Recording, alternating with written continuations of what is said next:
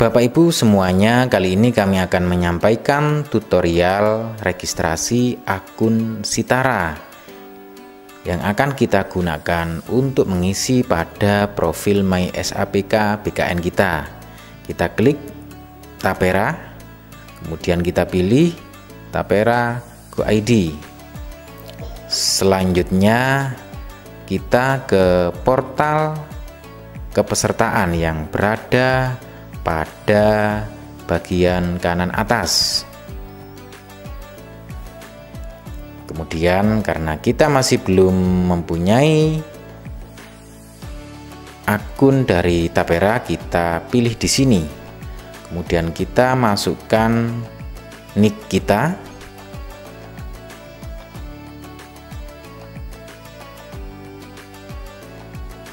Setelah itu kita isi NIP kita.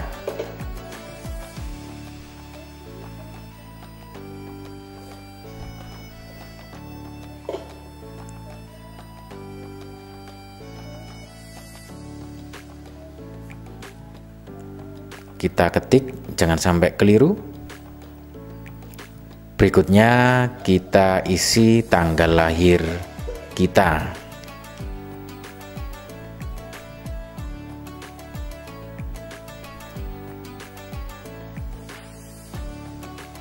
Setelah itu kita klik kirim. Berikutnya masukkan alamat email yang akan kita gunakan untuk registrasi akun Tapera kita.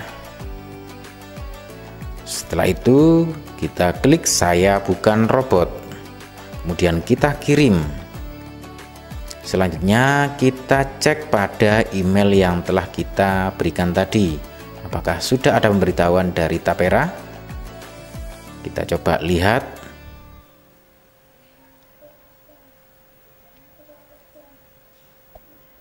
Ah, ternyata kode registrasi akun Tapera atau Sitara telah disampaikan oleh Sitara. Berikut kodenya kita copy dan kita pastekan ke kode verifikasi ini. Setelah itu Terlihat kode verifikasi valid. Selanjutnya kita buat kata sandi. Kita buat kata sandi. Pastikan menggunakan huruf yang berkombinasi sesuai petunjuk yang ada pada registrasi BP Tapera ini. Baik angka, huruf kecil maupun huruf besar. Berikut kata sandinya yang berikutnya maksudnya berikut konfirmasi kata sandinya. Harus betul-betul diingat agar bisa kita gunakan untuk login kembali di akun BP Tapera kita. Jika sudah selesai kita kirim.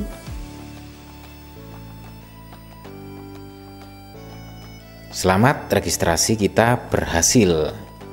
Berikutnya kita bisa kembali ke halaman login untuk memulai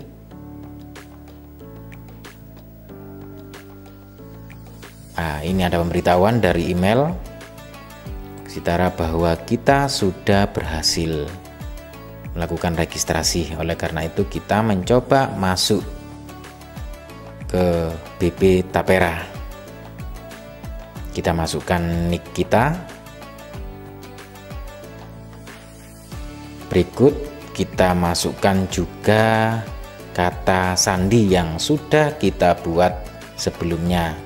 Pastikan kombinasi huruf dan angka sama dengan sandi yang telah kita buat sebelumnya.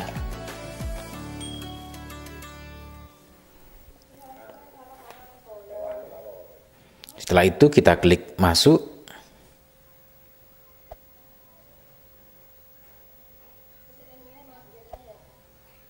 Berikutnya ada pemberitahuan bagaimana persyaratan umum pendaftaran program Tapera.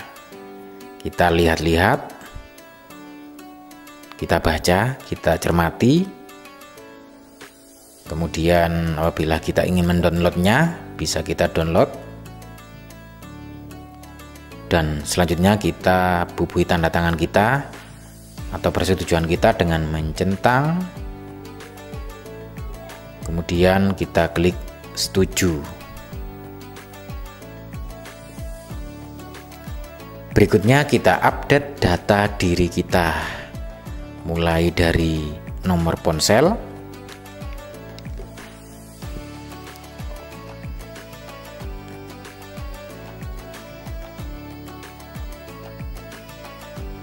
Kemudian prinsip bank kita kita lihat data-data yang ada di sini. Apakah sudah benar?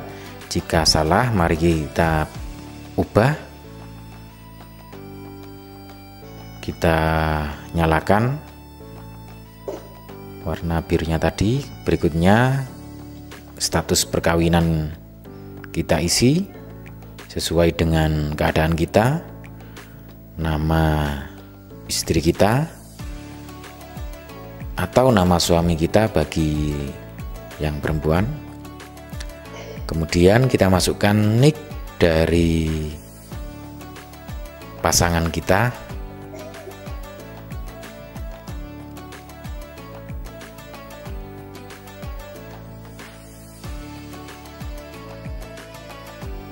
Berikutnya kita pelan-pelan mengisi nick pasangan kita. Jangan sampai salah.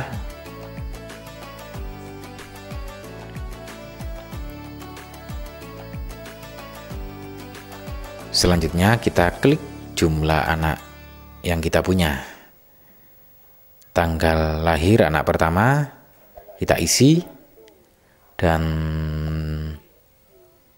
tanggal lahir anak kedua juga kita isi.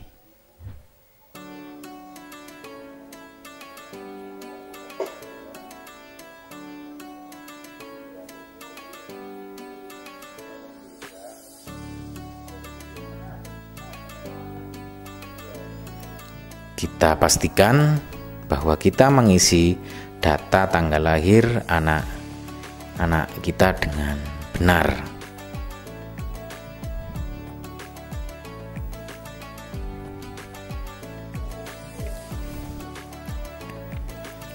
Perlu kami sampaikan sekali lagi bahwa pengisian nomor Tapera ini, pengisian akun Sitara Tapera ini nantinya bisa kita gunakan salah satunya untuk mengisi pada profil MySAPK BKN kita.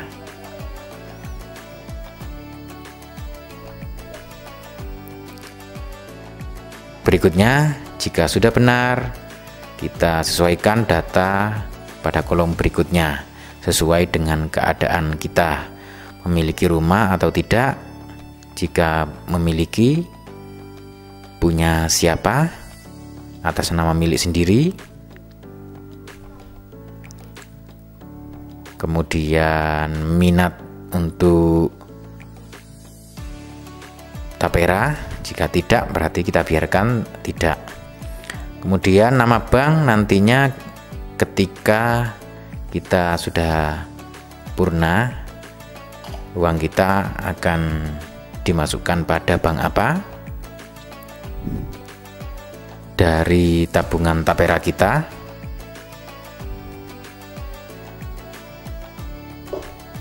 kita cari dengan benar sesuai dengan tabungan yang kita punya atau rekening tabungan yang kita punya ini saya mencoba mencari bank yang sesuai dengan tabungan atau rekening yang kami punya.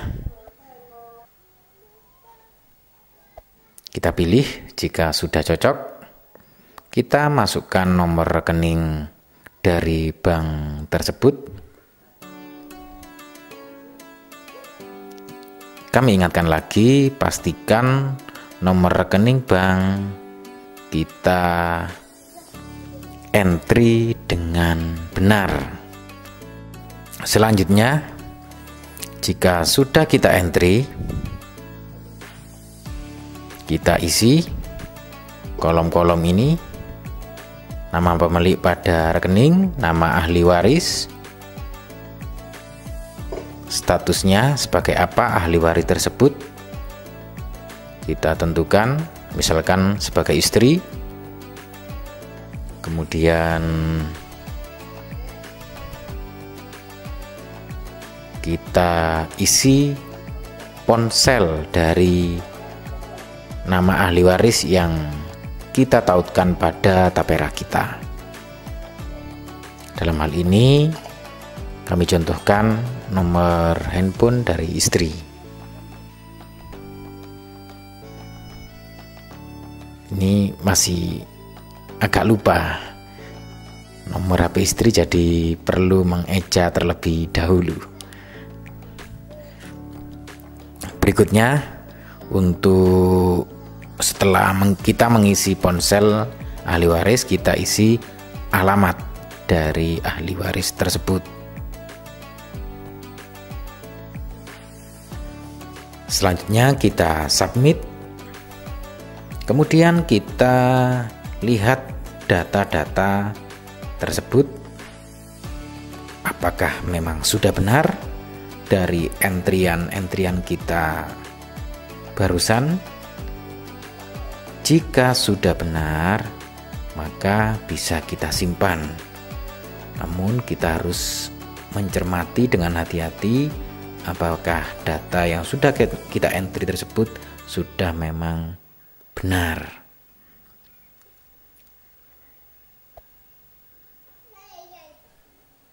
Setelah selesai dan sudah benar, bisa kita klik simpan.